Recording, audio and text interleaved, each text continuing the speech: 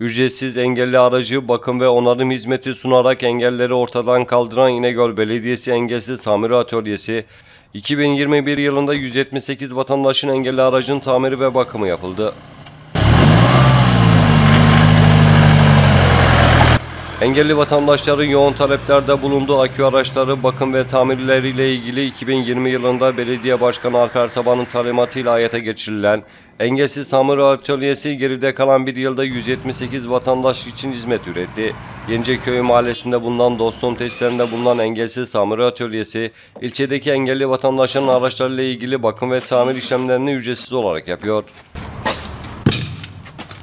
Engelli vatandaşların kullandığı tekerlekli sandalye ve akülü araçları olası bir arızalanma sonucuna karşı ücretsiz bir şekilde müdahale eden İnegöl Belediyesi Engelsiz Tamir Atölyesi, tamir sürecinde vatandaşların kullanımları için emanet akülü araç temini de sağlıyor.